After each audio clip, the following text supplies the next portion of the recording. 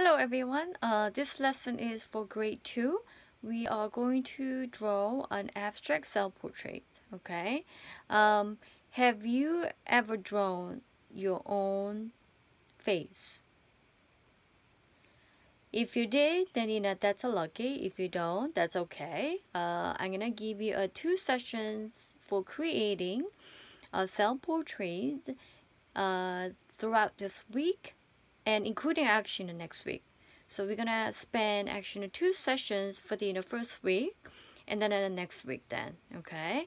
And then I'm gonna show you what abstract means to you know uh, you guys in terms of art, okay? Abstract is something that it's a little bit uh, unrealistic, okay? Things that you know you can't even recognize what it is, okay?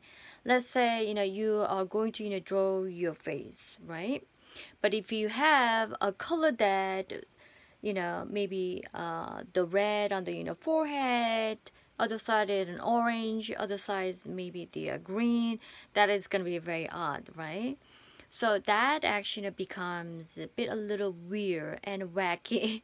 That's kind of the action abstract as you sort of a level of understanding what what abstract means then. Okay, so I want you to understand what abstract means in art and I want you to understand how you can actually measure in order to you know, create you know, self-portrait then okay?